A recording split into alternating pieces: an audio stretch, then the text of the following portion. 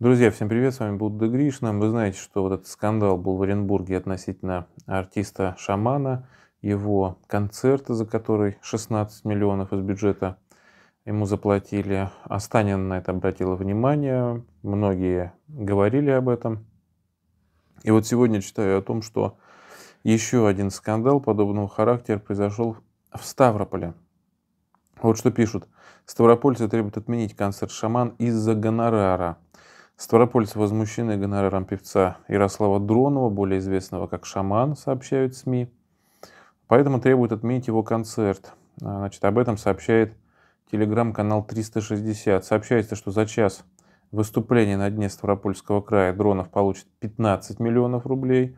Также еще 4,6 миллиона рублей будут потрачены на райдер певца. Заказчиком выступает Ставропольская государственная филармония.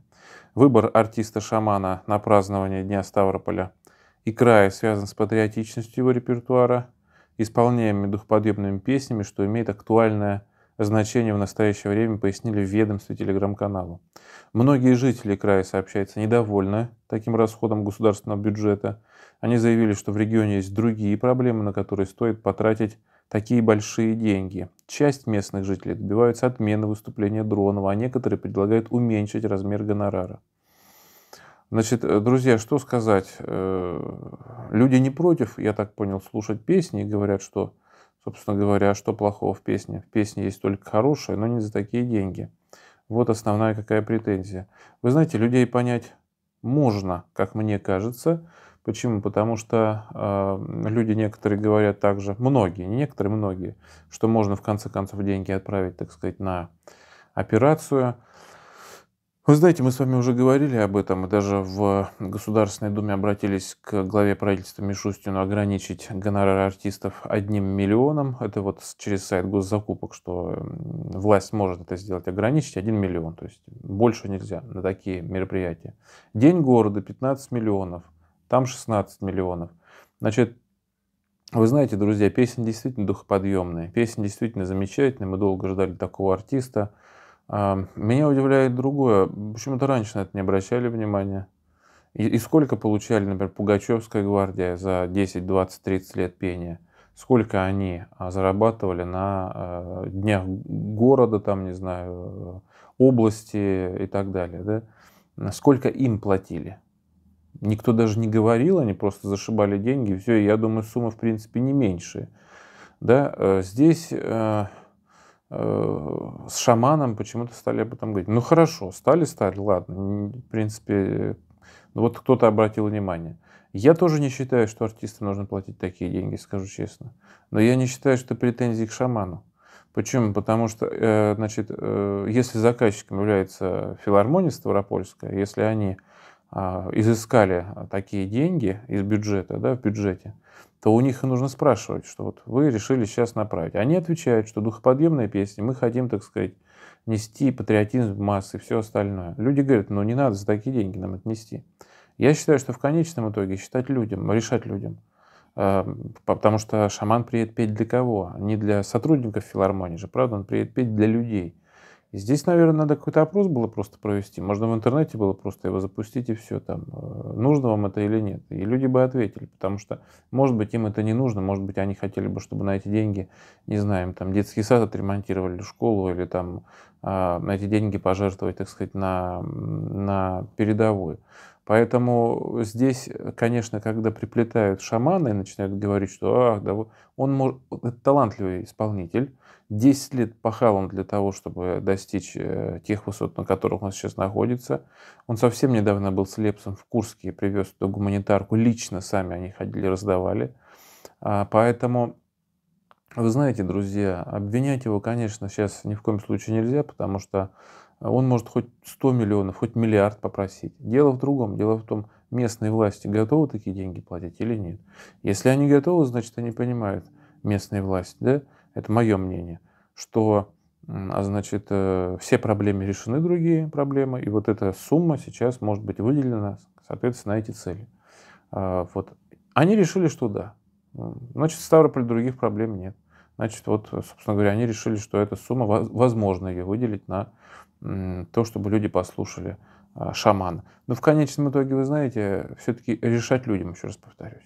Шаман здесь как артист ни при чем. Ценник устанавливается в любом случае такой, который устанавливается. Люди платят, собственно говоря, вот он зарабатывает. Его обвинять я не считаю, что возможно.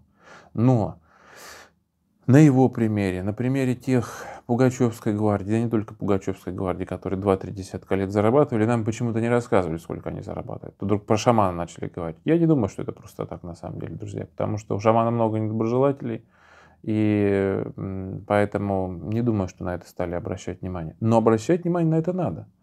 Почему, я не знаю, обратили. Мне кажется, что это недоброжелатели, да. Но вот то, что обратили, это, в принципе, неплохо. Потому что я говорил неоднократно, Росконцерт, Госконцерт, артисты, исходя из своего звания на зарплате, вся остальная сумма уходит в налоги или же сразу прямая помощь адресная на передовую. Э, то, что предложили там миллионам э, ограничить гонорар артистов, я считаю, что миллион много. Но давайте просто представим, учитель, еще раз, я сто раз повторял уже, э, формирует личность будущего россиянина. Воин защищает Отечество, нас с вами. Да? Металлург работает в цеху, там, где 45 градусов. Шахтер спускается в забой там, на 300-500 метров глубина, рискует здоровьем и жизнью. Сколько они зарабатывают? Миллион рублей за, одно, за, за один спуск в шахту? Или миллион рублей зарабатывают учитель за один урок, там, да, один час? Нет, конечно, мы же знаем, сколько зарабатывает. А артист, он приезжая и поет один час, в чем его разница? Он выступает перед людьми так же, как учитель выходит перед классом выступает. То же самое примерно. Любой труд должен быть оплачен, любой. Но система, как призвал соседов, совершенно правильно, система формирования гонорара артиста абсолютно непонятна. И люди сейчас действительно в свете операции, я думаю, будут задавать вопрос, а почему из бюджета тратится 10-15 миллионов? Это, если можно так выразиться, побочный эффект, положительный, как мне кажется, эффект проводимой операции. То, что люди стали э, интересоваться и спрашивать, а почему мы там отправляем небольшие денежки на помощь передовой, да, там, кто сколько может, а 15 миллионов вот так расходуется. А, мы хотим больше, например, там не послушать песни Шамана, замечательные патриотические песни, помочь этими деньгами или там еще что-то сделать. Люди начинают участвовать в социальной жизни, люди начинают поворачиваться лицом к тому, что происходит в стране. Это касается и замечаний мигрантам, это касается и а, там, до всего это касается. Люди ощущают, что это наша Родина, мы в ответе за все здесь. И, естественно, будут такие вопросы. Поэтому, э, как мне кажется, какие должны быть вменяемые суммы и для шамана, и не для шамана, для всех абсолютно. Да? А, цепляться к шаману, еще раз говорю, не надо. Этот вопрос нужно, конечно, урегулировать. Но шамана можно взять просто как пример. Но нужно говорить тогда обо всех артистах, не только о шамане, обо всех. То есть про шаман. А давайте скажем, сколько берет Киркоров, когда он приезжает на День города. Или сколько берет там Билан, когда он приезжает на День города? Какие суммы они берут? Что они берут? 250 тысяч рублей, что ли? Такое впечатление, что это так. Да так же берут же миллионами. Но почему-то начали говорить только о шамане. Это вызывает, конечно, большие вопросы. Почему о шамане такая вот история началась. Еще раз говорю, э, тут дело не в шамане совсем. Но, э, еще раз говорю, систему э, формирования гонорара артиста необходимо, конечно, пересмотреть и, и понять, что они зачастую открывают рот под фонограмму. Я не о шамане сейчас говорю в целом. И получают вот такие деньги. Естественно, с такими деньгами человек обрастает чем? Он обрастает всякими там дворцами, яхтами, морями, океанами. И потихонечку он совершенно меняется. Поэтому здесь тоже есть этот момент.